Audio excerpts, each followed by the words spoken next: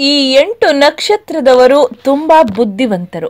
ಸ್ವಲ್ಪ ತಲೆ ಉಪಯೋಗಿಸಿ ಕೆಲಸ ಮಾಡಿದರೆ ಜೀವನದಲ್ಲಿ ಏನನ್ನು ಬೇಕಾದರೂ ಸಾಧನೆ ಮಾಡುತ್ತಾರೆ ನಿಶ್ಚಿತ.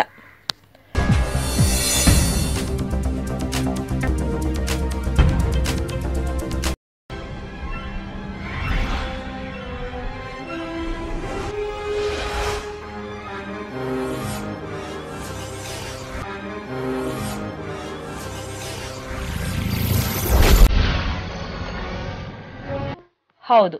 ವೈದಿಕ ಜ್ಯೋತಿಷ್ಯ ಪ್ರಕಾರ ಈ ಎಂಟು ನಕ್ಷತ್ರದವರು ತುಂಬಾ ಬುದ್ಧಿವಂತರಾಗಿರ್ತಾರೆ ಮತ್ತು ಜೀವನದಲ್ಲಿ ಯಶಸ್ವಿಯಾಗುತ್ತಾರೆ.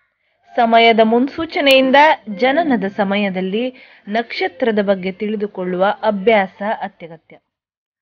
ಜನರು ಇದನ್ನು ದೀರ್ಘಕಾಲದಿಂದಲೂ ಮಾಡುತ್ತಿದ್ದಾರೆ. ಮಾಹಿತಿಯನ್ನು ಲೆಕ್ಕಾಚಾರ ಮಾಡಲು ಮತ್ತು ಒಬ್ಬರ ಜನ್ಮ ಕುಂಡಲಿಯಿಂದ ಅಥವಾ ಜಾತಕದಿಂದ ವಿವಿಧ ವಿಷಯಗಳನ್ನು ತಿಳಿಯಲು ಮತ್ತು ಇದು ಅತ್ಯಗತ್ಯ ಎಂದು ನಂಬಲಾಗಿದೆ. ವೈದಿಕ ಜ್ಯೋತಿಷ್ಯದ ಪ್ರಕಾರ ಇಪ್ಪತ್ತೇಳು ನಕ್ಷತ್ರಗಳು ಇವೆ. ನಕ್ಷತ್ರಗಳು ನಮ್ಮ ಜೀವನದಲ್ಲಿ ಹೇಗೆ ಪರಿಣಾಮ ಬೀರುತ್ತವೆ ಎಂಬುದನ್ನು ನಮಗೆ ನಕ್ಷತ್ರಗಳೇ ಹೇಳುತ್ತವೆ. ಇದು ವೈದಿಕ ಜ್ಯೋತಿಷ್ಯದ ಒಂದು ವಿಶಿಷ್ಟ ಭಾಗವೇ ಆಗಿದೆ. ಭವಿಷ್ಯವನ್ನು ತಿಳಿಯಲು ಬಳಸಲಾಗುವ ಸಾಧನವೇ ನಕ್ಷತ್ರ ಮತ್ತು ರಾಶಿ.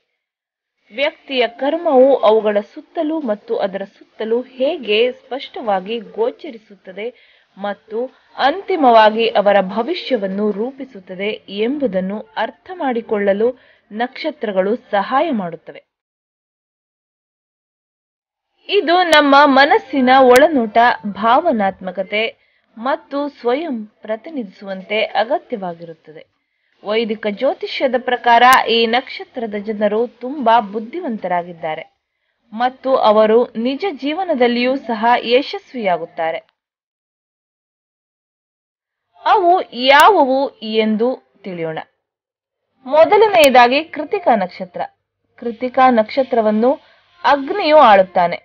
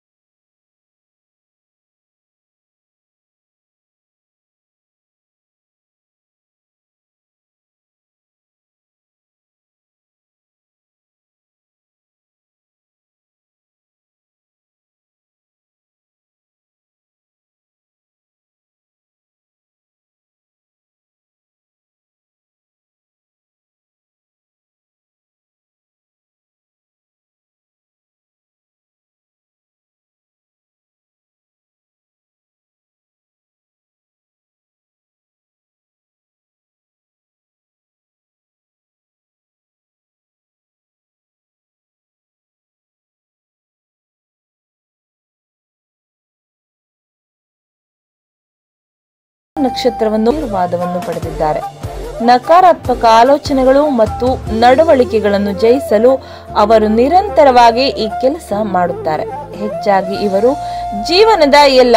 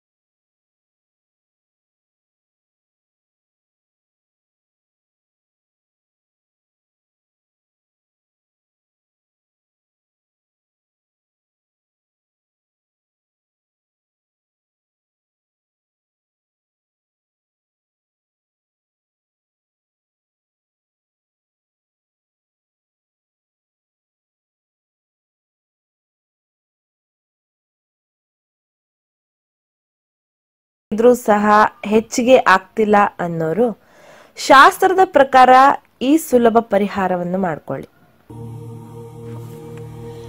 ಅನಾದಿ ಕಾಲದಿಂದಲೂ ನಮ್ಮ ಹಿರಿಯರು ಬ್ರಾಹ್ಮಿ ಪುಡಿ ಅಥವಾ ಸರಸ್ವತಿ ಪುಡಿಯನ್ನು ಹಾಗೂ ಇನ್ನು ಕೆಲವು ಗಿಡಮೂಲಿಕೆಗಳಿಂದ ತಯಾರಿಸಿದ ಪುಡಿಯನ್ನು ಜೇನುತುಪ್ಪದಲ್ಲಿ ಬೆರೆಸಿ ಮಕ್ಕಳಿಗೆ ನೀಡುತ್ತಿದ್ದರು. ಇದು ತುಂಬಾ ಪುರಾತನ ರಾಜಮನೆತನಗಳ ಪದ್ಧತಿಯಾಗಿದ್ದು ಈ ರೀತಿ ಮಾಡುವುದರಿಂದ ಮಕ್ಕಳಲ್ಲಿ ಜ್ಞಾಪಕ ಶಕ್ತಿ ದಿನೇ ದಿನೇ ವೃದ್ಧಿಯಾಗುವುದರಲ್ಲಿ ಎರಡು ಮಾತಿಲ್ಲ. ಈ ರೀತಿಯ ಆಯುರ್ವೇದ ಔಷಧ ಬಳಸುವುದರಿಂದ ಬುದ್ಧಿ ಚುರುಕಾಗುತ್ತದೆ. ಶೀತ, ನೆಗಡಿ, ಕೆಮ್ಮು ಎಂದು ಕಾಡುವುದಿಲ್ಲ. ಮಕ್ಕಳಲ್ಲಿ ಹಸಿವೆಯನ್ನು ಹೆಚ್ಚಿಸುತ್ತದೆ. ದೇಹದಲ್ಲಿ ರಕ್ತ ಸಂಚಾರವನ್ನು ಸುಲಲಿತಗೊಳಿಸಿ ಮಕ್ಕಳಲ್ಲಿ ಇರುವ ಆಲಸ್ಯತನವನ್ನು ನಿವಾರಿಸುತ್ತದೆ. ಅಷ್ಟೇ ಅಲ್ಲದೆ ಕೆಲವು ಮಕ್ಕಳಿಗೆ ಇರುವ ಮಾತು ತೊದಲುವಿಕೆಯನ್ನು ತೆಗೆದುಹಾಕುತ್ತದೆ. ಜೇನುತುಪ್ಪದಲ್ಲಿ ಬೆರೆಸಿದ ಬ್ರಾಹ್ಮಿ ಪೌಡರ್ ಹಾಗೂ ಇನ್ನೂ ಇತರ ಗಿಡಮೂಲಿಕೆಗಳನ್ನು ಬೆರೆಸಿ ತಯಾರಿಸಿದ ಜೇನುತುಪ್ಪ ಬೇಕಾದಲ್ಲಿ ಈ ಕೆಳಗಿನ ನಂಬರನ್ನು ಸಂಪರ್ಕಿಸಿ.